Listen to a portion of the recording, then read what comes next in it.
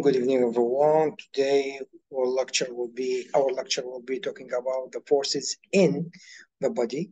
Actually, this lecture contains from two parts. The first one, the first one will talk about in body. The second will talk about on body.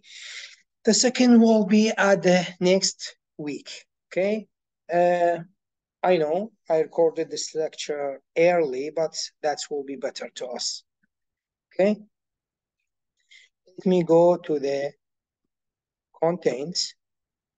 Contents here, like I told you, uh, that we're talking about the all of these two parts from the forces in and on the body. Today lecture we'll talk about just in forces in body. These are contains from three sides, three kinds. The first one, the gravitational force, electrical force, and the last one is nuclear force. The most important two forces to us today is gravitational and electrical force. Let's go to take deeper information about gravitational force. What is the gravitational force? What is the benefits to us by working, by walking, running, do any another activities, what the difference between walking in the earth and from walking in the mm, in the moon. Let me say, what is the difference between the different masses? Okay, all of these will take it all of these examples by supporting them by using some pictures. Here, the gravitational force, the force which pulls, which take objects with mass towards each other. Here, for example, the most common example is to us how we can walking in this planet. Why we walking like that? What is the effect on our masses to make us walking like that? It's the gravitational gravitational force of our planet on our bodies. Why? Because our planet has a huge amount of mass. The second example, let me use this track when go out fast, uh, what will be? What's the relation between this uh, big truck, this big car, big, I don't know what you'll say to car like that. But the most important thing, the relation between this big car and these small stones. When car like that through go out by use 100 or more 100 kilometer to each hour, what will do to stones like that?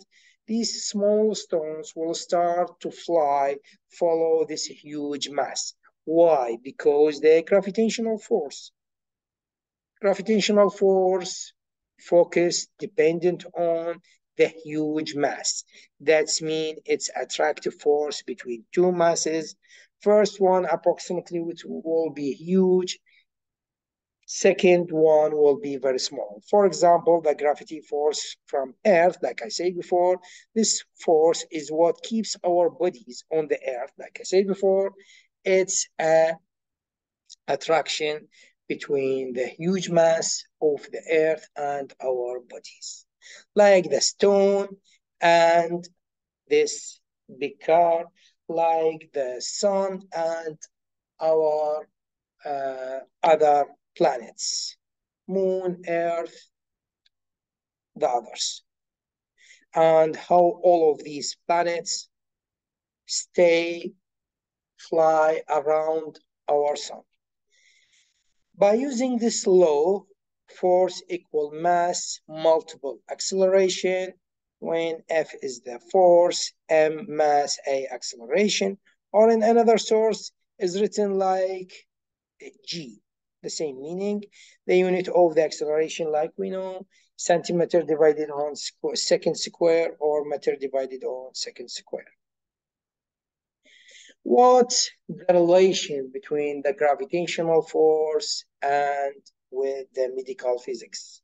what the relation between gravitational force and the medical effect.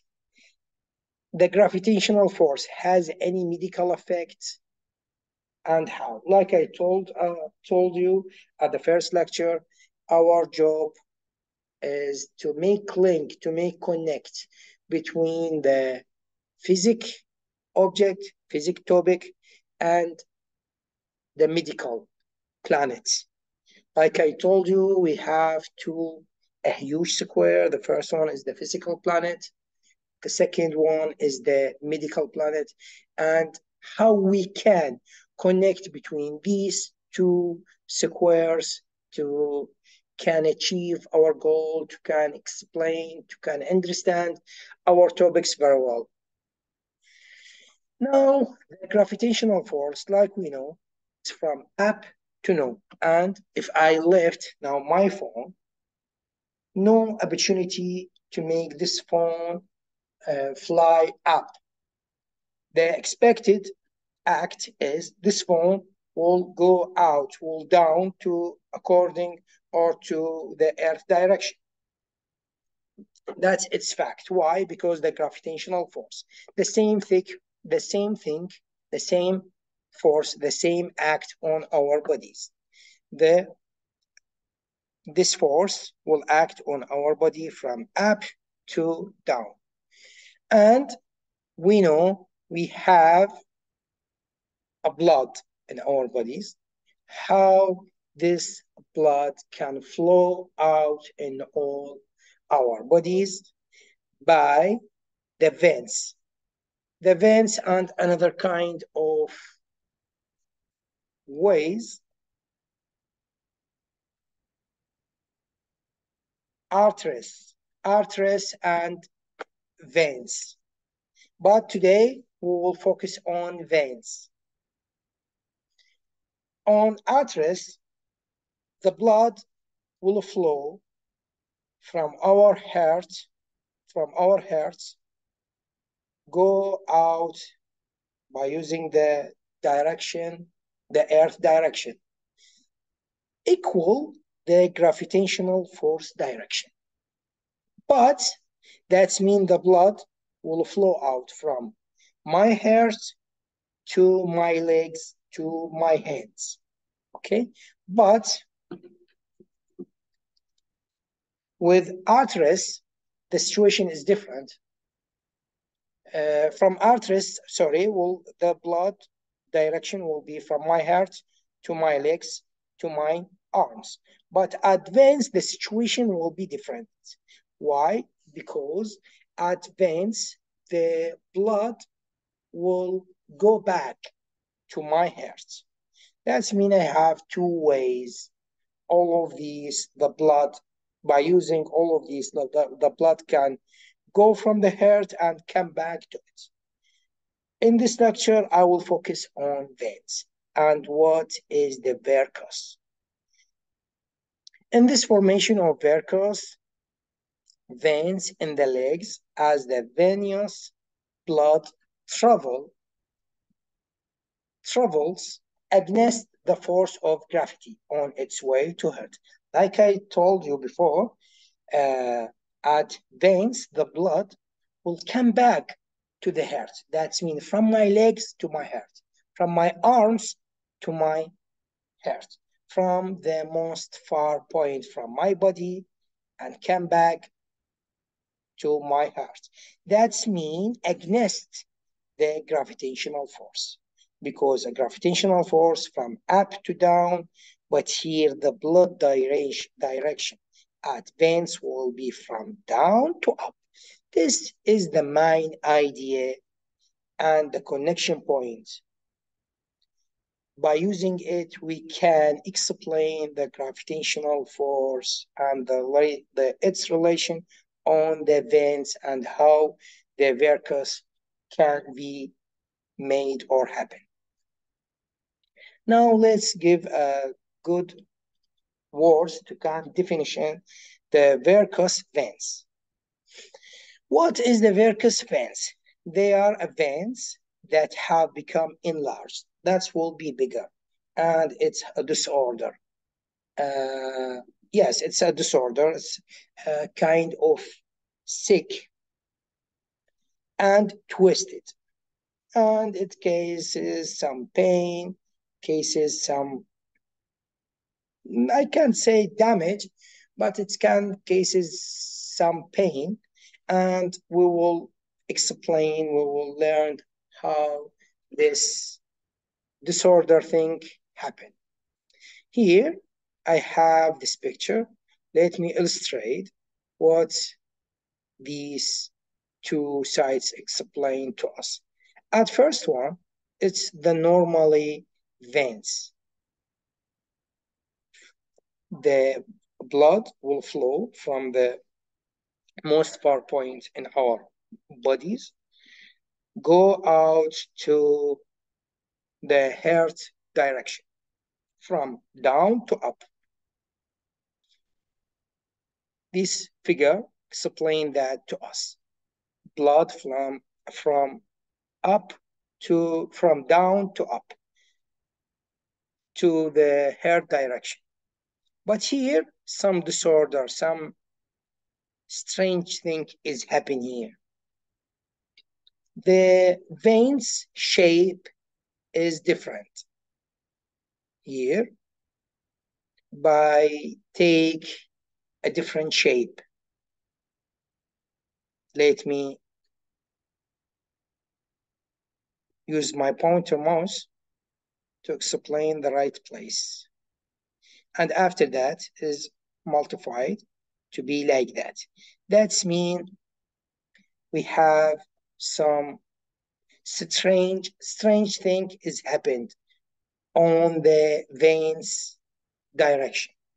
Okay. Let's go to the next slide. What is the varicose again when the veins become varicose? Let me minimize my camera here. Or, yes, that will be better. Yes, let me come back again. When the veins become varicose, that's mean the disease, it's happened the leaflets of the valves will no longer meet properly. That means some bad thing will happen. Why? Because these valves must be meet each other to can make correctly blood flow to can to make opportunity to this flow to come back to my heart. Let me explain some important things uh, by using this figure here. Like I said before, advance, the blood direction will be from down to up according to or go to the hair direction. Here it's normal veins, but here the varicose is happen, we have a lot of curves instead of line veins. And here I will have some backwards to the flow direction. Here, the blood flow or blood flow direction must be from up from down to up, like that, from down to up. But here we have some backwards blood flow and some a lot of curves instead of the line veins. This is the varicose veins. Here, like is written here, a regular blood flow. By that, the valves don't work. Must these valves must meet each other to can give opportunity to make the blood come back again to the heart. And this direction will keep going. This allows blood to flow backwards and they enlarge even more. That's mean this curves will be more and more. This fans will be bigger and bigger. And sure, we saw that at the service of some friend's body suffering from this disease, approximately at the legs. Okay? Varicose veins are most common in the superficial veins of the legs, like I said before, which are subject to high pressure. What this disease made, what this disease cases, which are subject to high pressure when standing, some painful, approximately, specifically when you are start to standing again on your legs, can be painful when standing and being a cosmetic problem. Yes, it's not, it's not uh, gives a good look, okay, to the man or women. Doesn't matter.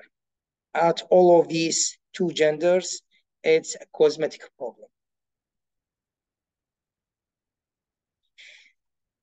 The second and the important force is the electrical force. Like we know, at the magnetic, some huge similarity in this topic with the magnetic phenomenon, with the magnetic characteristic. Electrical force, it's it is one of the various forces that act on objects, and it's two kinds, Like we know, uh, the same, uh, the same situation, same kinds on the magnetic, repulsive and attractive.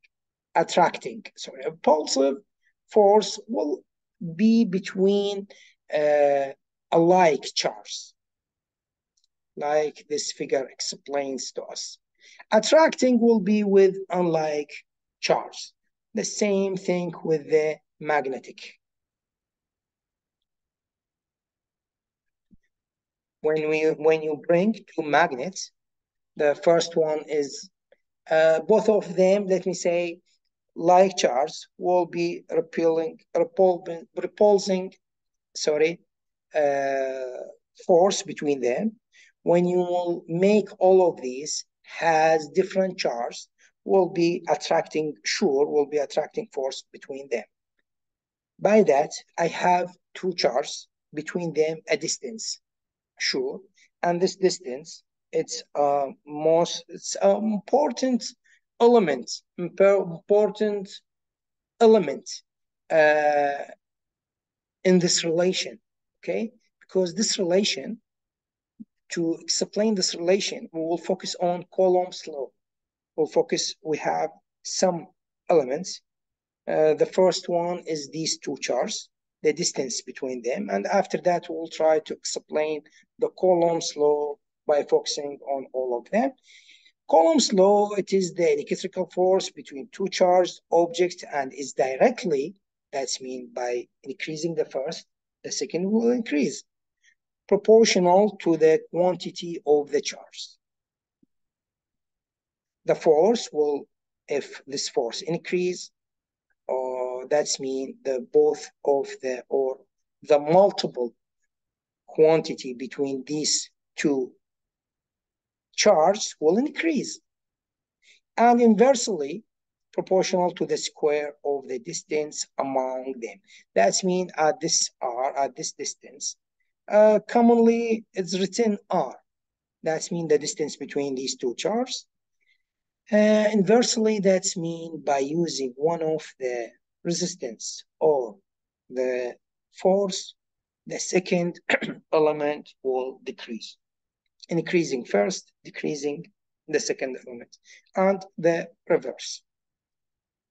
Now, what is the force equation? That's mean what is the Coulomb's law? Like we know, and you taking it, you are taking that at the middle school or high school, I don't know.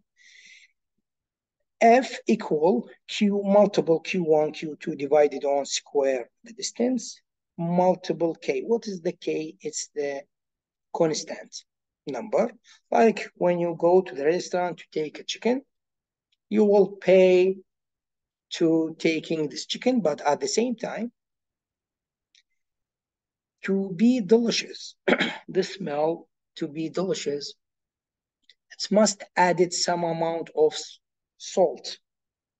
Without the salt, this meal will not be delicious. That means you will not be satisfied, but you will not pay to adding the salt to the smell. At Coulomb's law, the K is the salt who it's added to the chicken meal.